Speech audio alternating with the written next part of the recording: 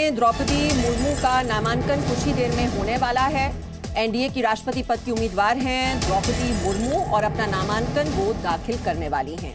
इस दौरान प्रधानमंत्री नरेंद्र मोदी, रक्षा मंत्री राजनाथ सिंह और केंद्रीय गृह मंत्री अमित शाह सहित अन्य वरिष्ठ नेता मौजूद रहेंगे। नामांकन से पहले द्रौपदी मुर्मू ने प्रधानमंत्री मोदी और गृह मंत्री अमित शाह से मुलाकात भी की। 18 जुलाई को राष्ट्रपति का चुनाव होना है। द्रौपदी मुर्मू की टक्कर यशवंत सिन्हा से होनी है। यशवंत सिन्हा यूपीए की ओर से राष्ट्रपति पद के उम्मीदवार हैं।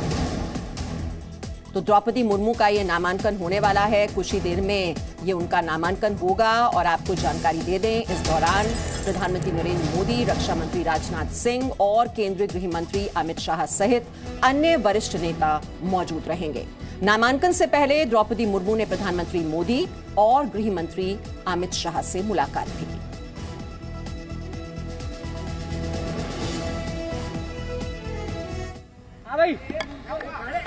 नाव घेऊन सांगतो मी वंदन सांगतो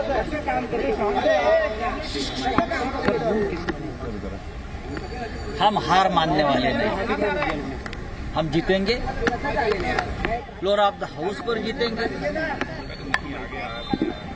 अगर लड़ाई सड़क पर हो गई तो वहाँ भी जीतेंगे। जिसको हमारा सामना करना है मुंबई में आ सकते हैं। बहुत ही गलत कदम उठाया है लोगों ने। उनको हमने मौका भी दिया वापस आने का। अब मुझे लगता है टाइम निकल चुका है। अभी अभी हम ऊपर बैठे थे माननीय शरद पवार जी से अनिल देसाई जी थे गृह मंत्री वलसे पाटिल साहब थे।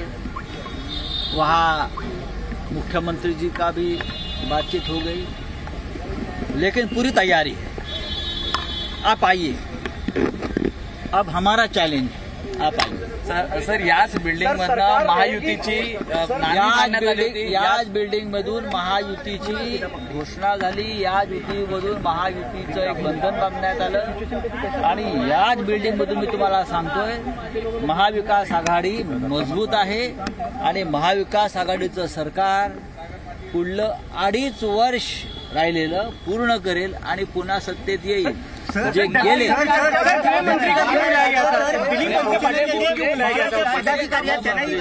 गृहमंत्री जी गृहमंत्री जी राष्ट्रवादी के प्रमुख नेता है अनुभवी नेता है। गृह मंत्री जी कभी विधानसभा के स्पीकर भी रहे। वो कानून नियम अच्छे तरीके से जानते हैं हमसे भी अच्छे तरीके से जानते हैं। उनमें और अनिल देसाई जी में पूरी बातचीत लीगल बैटल के बारे में हो रही थी। और मुझे लगता है जो हमको करना है वो हमने कर लिया है। ज्या बारा पवार साहब से क्या चर्चा हुई? पवार साहब ने. पवार हमारे महाविकास आघाड़ी के नहीं तो देश के राजनीति के सबसे बड़े नेता हैं। मैं तो उनको विष्णु पितामह कहता हूँ। और पवार साहब और मुख्यमंत्री जी का निरंतर डायलॉग चल रहा है। हम सब एक दूसरे के संपर्क में हैं। चाहे कांग्रेस के नेता हो एनसीपी के बड़े नेता हो शिवसेना के नेता हो हम सब एक साथ लढाई सुरू केले हो गया आप आइए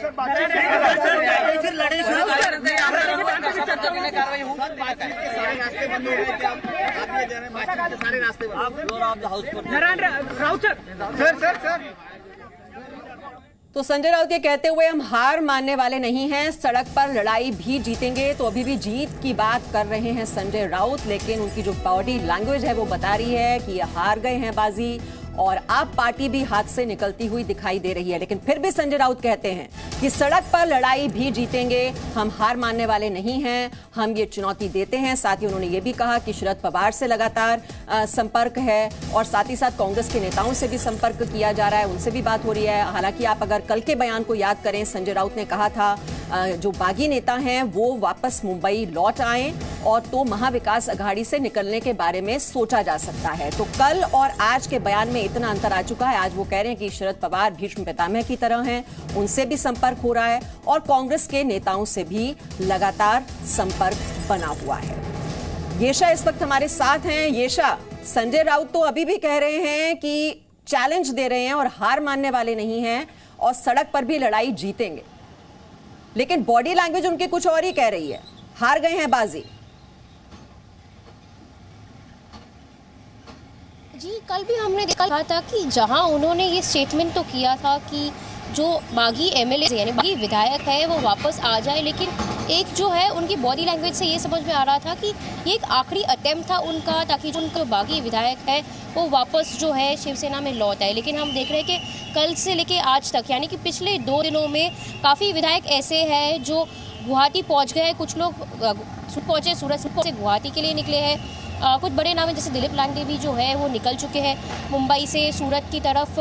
जो हम देख रहे हैं कि अभी ये जो काफ़ी एम है यानी कि विधायक है कल तक तो नंबर 40 चालीस के आसपास चालीस था यानी कि कुछ पैंतीस शिवसेना के विधायक थे सात इंडिपेंडेंट थे लेकिन आज जो है एकनाथ शिंदे का जो कैंप है वो तो ये क्लेम कर रहे हैं कि तकरीबन 50 जो विधायक है वो उनके साथ है। आज भी जैसे हम देख रहे हैं कि संजय राउत शरद पवार से तो मिल रहे हैं लेकिन यहाँ पे भी जो है हम शिवसेना भवन के बाहर जहाँ खड़े हैं पीछे जो है जिला प्रमुख की जो है मीटिंग बुलाई गई है उद्धव ठाकरे के द्वारा। अब इसमें हम ये समझ सकते हैं कल जो है काफ़ी जो है जिला प्रमुख उनके अलावा जो है कॉरपोरेटर्स और एमपी एमएलए को जो है बुलाया गया था मातोश्री पे उद्धव ठाकरे द्वारा मीटिंग की गई थी। वहाँ पे एक जो बात हुई थी ये समझना बहुत ज़रूरी हो जाता है कि अब ये स्ट्रैटेजी क्यों अपना रहे हैं उद्धव ठाकरे और संजय राउत? जहाँ ये कह रहे हैं जो जिला प्रमुख है जो वहाँ के सेना प्रमुख हैं उन्हें ये कहा जा रहा है कि आप जो है ग्राउंड लेवल पे जाके काम करिए लोगों को अभी भी समझाइए कि हमारा जो स्टैंड अभी भी हिंदुत्व वाला है तो ये जो है वो बात लगातार सामने आ रही है जो इंटरेक्शन हो रहे हैं सेना प्रमुख के साथ उसमें ये बात काफ़ी सामने आ रही है News app available on Google Play and App Store. Download it now.